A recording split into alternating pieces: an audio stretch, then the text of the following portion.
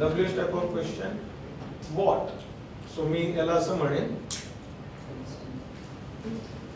काय? So wealth क्रिएशनचा formula काय? असं काय असतो? की नसतो? नसतं बोललं तर विषय इथेच संपेल. असतो बोललं तर काहीतरी बनवता येईल. काय करूया असतो. सो रेडीमेड आहे कॉपी पेस्ट करूया फक्त.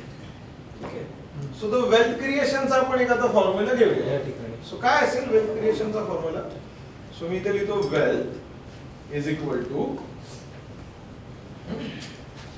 माझा आताचा capital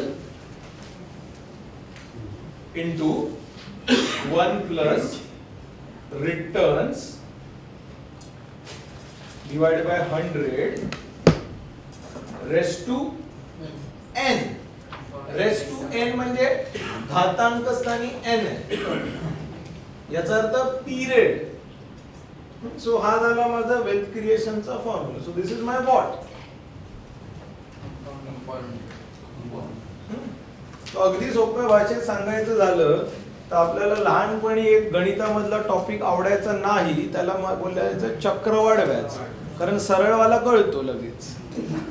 सो सरळ ज्यांना कळतो ते त्या पंच्याण्णव टक्क्यांमध्येच राहतात. आणि ज्यांना तो चक्रवाढ व्याला कळतो ते त्या पाच टक्क्यामध्ये जाऊन राहतात. So wealth creation is basically what फक्त गणित आहे. लक्षात येते तर हा विषय आपल्याला तर समजून घ्यायचा आणि हा थोडासा आपण एक्सेल शीटच्या माध्यमातून पण बघणार आहोत. सो हा झाला आपला वेल्थ क्रिएशनचा फॉर्म्युला आता याला आपण अजून काही डब्ल्यू एच क्वेश्चनची जोड देऊया याच formula so this was my what ठीक आहे? नाव इथे जे मी रिटर्न्स लिहिलंय ना या रिटर्न्सला मी एक नवीन W H type of question लिहितो. Maybe हा माझा दुसरा W H type of question झाला. की रिटर्न्स मला कुठे मिळेल सो फॉर रिटर्न्स मी कुठे माझे पैसे लावले पाहिजेत? इन्व्हेस्ट केले पाहिजे म्हणजे माझे रिटर्न्स बनणार. क्लिअर आहे? नक्की? काही शंका काही डाऊट्स इथपर्यंत? आणि तिसरा जो W S type of question आपण इथे घेतो आहोत तो आहे वेन त्याला मी मराठीत लिहेन कधी बनणार.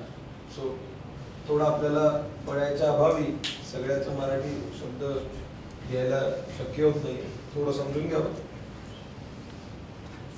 सो वेन म्हणजे माझी वेल्थ कधी बनणार. सो इथे एन चा अर्थ आहे एन स्टँड फॉर पिरियड मराठीमध्ये मी म्हणायला कालावधी. सो माझी संपत्ती बनणार कधी? सो या ठिकाणी आपण तीन नवीन W H W H type of question घेतलेले आहेत. So the first is what त्याचा आपण फॉर्म्युला घेतला. Second is when sorry second is where कुठे संपत्ती बनणार? And the third is when कधी संपत्ती बनते सो हे तीन फॉर तीन W H type of questions या ठिकाणी आपण घेतलेले आहेत. क्लिअर आता ह्यातल्या कुठल्या गोष्टी आपल्या हातात आहेत आणि कुठल्या गोष्टी आपल्या हातात नाहीत? म्हणजे मी इथे असं म्हणेन या बरोबर चिन्हानंतरच्या कुठल्या गोष्टी आपल्या हातात आहेत आणि कुठल्या गोष्टी आपल्या हातात नाहीत? याला इंग्लिशमध्ये फॅक्टर्स विदिन कंट्रोल आणि फॅक्टर्स बियॉन्ड कंट्रोल असं आपण म्हणतो. सो इथे मी प्रश्न विचारेन फॅक्टर्स विदिन कंट्रोल काय आपल्या? पैसे किती लावायचे ते. दुसरं किती कालावधीपर्यंत थांबायचं ते.